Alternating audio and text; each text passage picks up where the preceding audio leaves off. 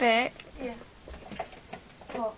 Hey. Oh, fuck's sake. Say hey.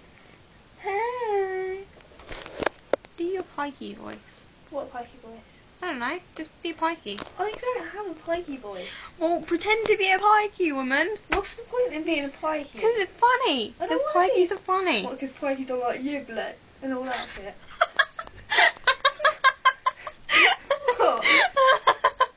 oh my god, you're such a retard. And you're not. I love you.